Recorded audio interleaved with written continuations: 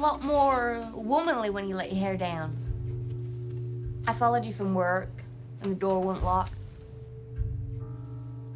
I've been reading your articles in the Herald. You do a great job, considering you're under the strictures of reporting just a fact. Oh, I'm not criticizing. I just, what with all the foreclosures and woes of the stock market, it seems like people could stand a little less black and white truth and a skosh more and being entertained. What are you doing here? I'm just a fan.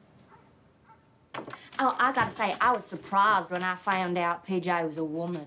You always called yourself PJ? Or was that your boss's idea? Stop your readers from finding out you were a Patricia. Maybe it's just me, but seems like things are really moving forward for our gender. What with that Amelia Earhart fixing to fly across the Atlantic, and you in the newsroom writing about crime, and me out there committing them. I couldn't help but notice. You only put Clyde's name down.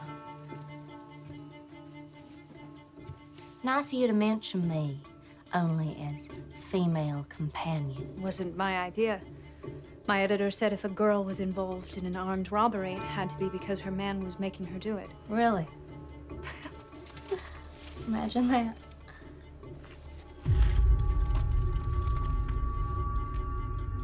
Would you please get out of my house? Oh, yeah, sure. Sorry. Oh, goodness, PJ, I never introduced myself. I'm Bonnie Parker. Ally Bonnie.